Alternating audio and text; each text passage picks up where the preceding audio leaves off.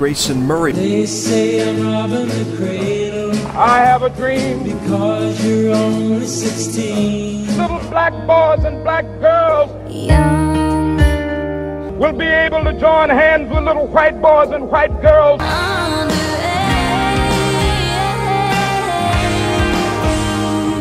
Grayson Murray. Can we can we all get along? Can we can we get along?